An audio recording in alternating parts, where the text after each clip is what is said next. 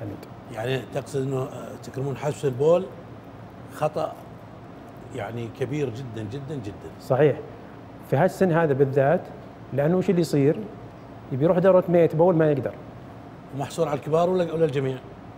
الكبار الرجال لا قصدي يعني حبس البول هل هو خطير على الجميع ولا على الكبار؟ طبعا على الجميع لأنه آه وخصوصا البنات الصغيرات المدارس لأنهم يجيهم خوف أو ما يريدون يداموا دوره المياه.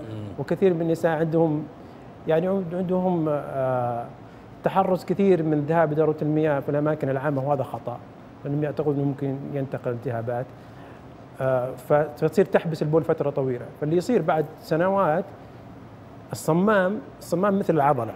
أي عضلة تمرنها أكثر مما يجب تكبر. تصير ما تفك. بتروح دوره المياه ما يقدر تفرغ البول. فوش يصير؟ يبقى البول في المثانة فترة طويلة. مع الوقت تبدا المثانة تكبر في الحجم. فإذا كبرت المثانة في الحجم يقوم البول يرتجع إلى ال- الكليتين ثم يبدأ عاد مشاكل آه، يبدأ كده وظائف كده تنزل لأنه ما في بول يتصرف. والالتهابات والآلام وخلافه وهذه كيف نتقيها بإذن الله؟ ال- بالنسبة للناس اللي أعمارهم بالنسبة للصغيرات البنات الصغيرات إنه يمي إذا احتجت دوره المياه تروحي دوره المياه. وغالب المدرسين الآن يفهمون هذه النقطة. قديما يعني كان فيه يعني إشكالات لكن عادة الآن الطفل يجب أن يذهب المياه والمفروض أن أمه اللي في البيت يذكرونه. إنه ما يحبس خاصة الأطفال اللي يندمجون مع اللعب؟ بعض الأطفال مثلا يندمج مع اللعب أكثر مما يجب ثم ما يدري الا سواها نفسه. ليش؟ لأنه نسي. ففي العمر هذا كويس تذكيره. بالنسبة للناس الكبار في ناس عندهم هذه العادة وهي عادة ما هي بجيدة. يقول أنا اليوم كله ما أروح دورة المياه. فيفترض أنك كل ثلاث ساعات أربع ساعات ما تحبس. وإذا حص بحشرة يذهب مباشرة لأنه أحيانا يروح دورة المياه. يقول لك أنا ما عاد أقدر ما عاد أقدر أطلع. وفي بعض الناس ممكن يصل إلى مرحلة إنه تحتاج قسطرة بولية لتفريغ البول خصوصا اللي أعمارهم في الخمسين وفي الستين. فهؤلاء يفترض انه ما يحبسون البول.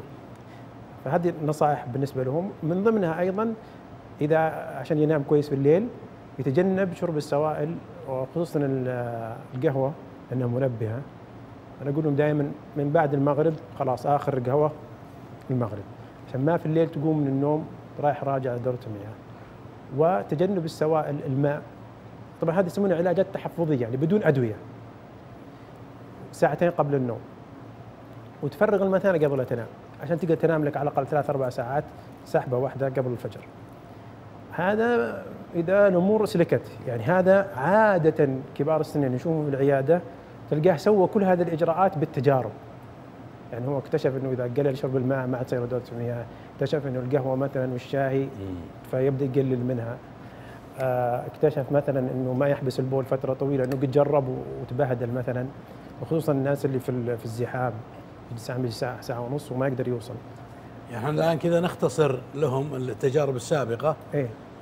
أنه بعد المغرب قللوا السوائل لا تحرصون على القهوة. صحيح. قبل النوم آه، بساعتين. ساعتين. لازم ت... بس خذ بس اللي حق الدواء حق الأدوية. حلو. زين. وباقي لكن لا في ناس عنده عادة إنه يشرب مثلا كاس ماء مثلا أو يشرب كاس لبن أو حليب أو كاسين. هذا بيخليه يتبهدل في النوم. يعني معناها قبل بساعتين اشرب قبل ما تروح ترقد آه، اوصل دورة المياه بحيث يعني تاخذ أجمل أو أكبر قدر من النوم والراحة. صحيح. طيب في ناحية